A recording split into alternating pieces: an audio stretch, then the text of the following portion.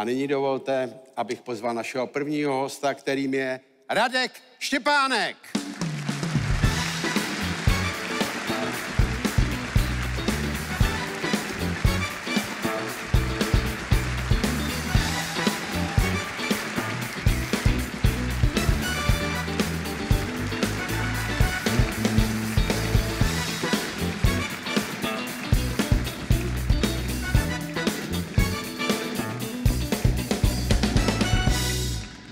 Radek Štěpánek, kdyby náhodou někdo nevěděl, tak náš přední tenista, ale i světový tenista, dokonce vaše nejlepší umístění bylo, že jste byl čtvrtý, ne? Čtvrtý ve čtyře, osmý ve dvouře. Osmý ve dvouře, čtvrt... no tak já říkám jenom čtvrtý, protože Jste mi chtěl přidat, děkuju. Ať si to pak zjišťujou, že to byla čtyři a tam to jdu. Ale uh, víte, co mě napadlo? Myslíte si, uh, vy jste rodák z Karviní, že jo? Je to tak? Myslíte si, že třeba, když jste, já si pamatuju, jak jste měl ten zápas asi 6 hodin s tím tenistou. To bylo v Davis. Cupu, že jo? Davis Cupu, Chorvatsko 2009. 2000. Myslíte si, že ta Karviná tam sehrála nějakou roli v tomhle zápase 6 hodinovým? Já si myslím, že se hrála velkou roli část fanoušků, která tam byla. Jo. A já to budu říkat, eh, ale byli z Vítkovic. Cože byli? Z Vítkovic. Byli z Vítkovic. A bylo tam víc fanoušků skoro českých než chor- než chorvatských. Vždyckých. No ale jestli z té Karviny jste přijel takový otužilej, jako, nebo vůbec eh, v rámci vaší tenisové kariéry, Určitě jsem přijel z Karviny socelený. socelený, no. No a vy už teď nehrajete tenis. Teď nehraju, už je to vlastně skoro dva, přes dva roky, no. Teď jste ale trénoval, jsem koukal. Koukal. Prosím vás, to je strašně zajímavý. Vím, že jste dělal nějakou dobu s Djokovicem a vy se pak rozcházíte a vždycky eh, řeknou, že se neschodli. A jako jak neschodli? Že vy mu říkáte, choď na síť a on tam nechce chodit, nebo co? Tak eh, on řekne, nebudu to dělat. Ne, tak u Novaka my jsme, vlastně když jsem k Novakovi nastoupil, tak eh, jsem ho chytil vlastně dá se říct v nejhorším stádiu Jo, jeho ka- vlastně kariéry, kdy poprvé musel čelit vážnému zranění. A ono člověk, když vlastně on nebyl celou kariéru zraněný, tak eh, vlastně neví, jak tomu má vůbec přistupovat. Takže já jsem se mu snažil poradit, protože těch zranění jsem měl spoustu, eh, tak jsem se mu snažil poradit, aby si to prvně vyřešil, stoprocentně se vyléčil a pak má vlastně před sebou dalších 5-7 let, kdy může hrát eh, bezstarostně a on se snažil různými jinými způsoby než doktorským zákrokem to vlastně odalovat, zkoušel, hrál s tím pořád a vlastně si ubližoval, než aby si tím pomáhal. To byl začátek a vlastně nezhodli jsme se v tom, že když jsem mu vlastně radil, tak občas dělal, nebo velkou část dělal to naopak. No. No a vy teďko, co jste? Přestal s tenisem a tak jste trénoval a trénujete, pak jste trénoval toho Dimitrova. Dimitrova. A trénujete někoho teďko? Eh, Netrénuji nikoho, dávám si od toho pauzu, i když jsem s Grigorem skončil, tak jsem eh, nabídky měl i další, ale eh, mám doma eh, 19-měsíční dceru a už začíná vnímat a myslím si, že je to teďka spousta z vás to žilo asi nejkrásnější čas a eh, chci ten čas trávit co nejvíc s nima. Co nejvíc s nima.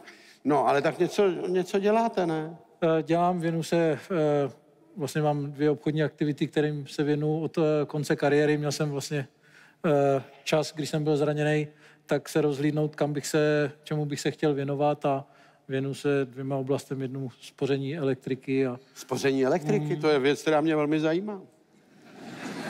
A jak spoříte elektriku? spoříme elektriku díky jedné izraelské technologii, pro kterou mám zastoupení tady v České republice a spoříme v domácnostech. No dobře, ale slibujete, že uspoříte.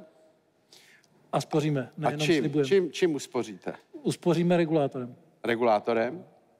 Že když tam není doma, tak mu klesne teplota. My spoříme tím, že vlastně, eh, jak vám napětí kolísá doma, No. třeba, že vám Ano. pojistky, že vám přijde hodně energie, tak vlastně ten regulátor eh, funguje jako přepěťová ochrana, že vás vlastně ochrání i před těmi výkyvy. No dobře, ale tak mě výkyvy nevadí, když je nemusím platit. Ale eh, ono to má vliv na to, na tu spotřebu i ty výkyvy. Má samozřejmě, protože Jo. vlastně vám třeba, eh, to bych neměl asi říkat, aby ti dodavatelé ty energie No tak nebyli tohle to naštvaný, tak. ale eh, vlastně oni vám někdy posílají víc, než za co vy zaplatíte, než to spotřebujete. A Vlastně Aha. A já to musím ale platit, když no, pošlou víc. No, ale my, Jo. my to zastavíme a pošleme vám jenom to, co potřebujete. No dobře, a tak kolik bych tak jako ušetřil řádově? Eh, Řádově v dom, eh, ve vaší domácnosti třeba se to pohybuje eh, u domácnosti mezi 8 a 12 procenty. Mezi 8 a 12 procenty z toho, co platím. A to si podepíšeme a vy mi to slíbíte a když se to nedodrží, tak, Tak my, to, eh, tak řeknete, Nedodrží. to je blbý, to máte my, někde, vám, my vám máte to někde blbě zapojený. to v žádném případě... Jardo, pojď sem, to není možný, člověk. Jemu to nefunguje tady. Ne, ne, Ne. to se nestává. No ale no, teď si odpust, nemůžu odpustit jednu věc, na tu jsem hrozně zvědavý. Vy jste se s vaší paní přední tenistkou taky, jste se rozvedli, že jo, rozešli, rozvedli a pak jste se zase vzali. Prosím vás, co se tam stalo? Nebo jako, eh, no, já to nemyslím samozřejmě zle, ale eh, říkám si, že bych to potřeboval trošku psychologicky vysvětlit.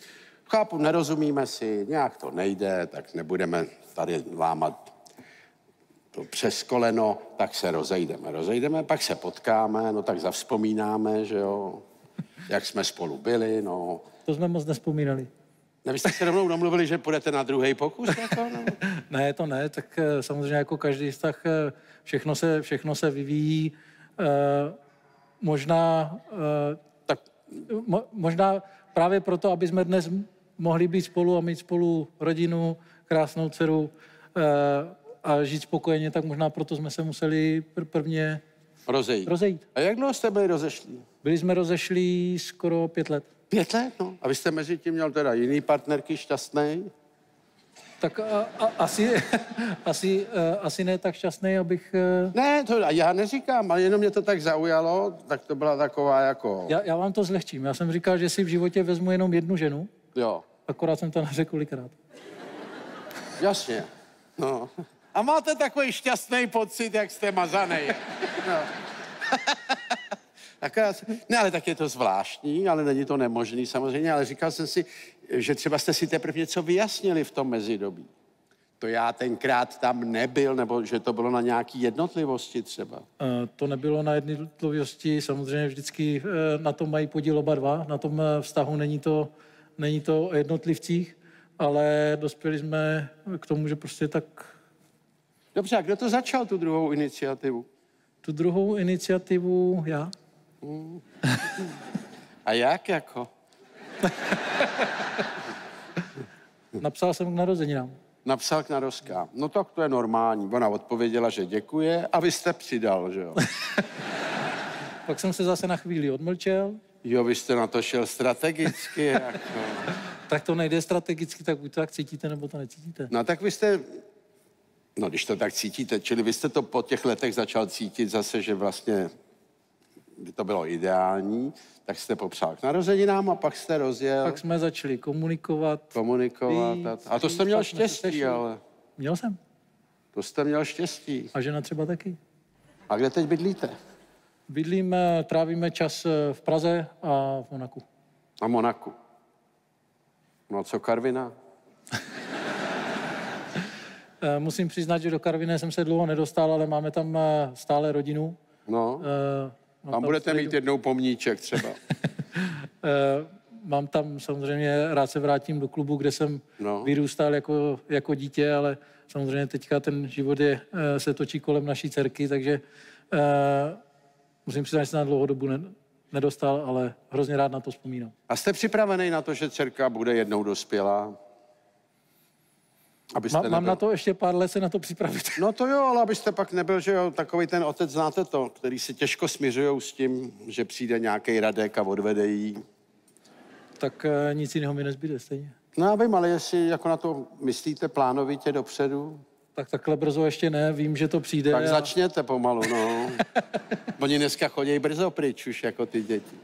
To je pravda, ale No kolik je jí teď? Teďka je 19 měsíců. 19, no tak to máte ještě pět měsíců volno. Radek Štěpánek!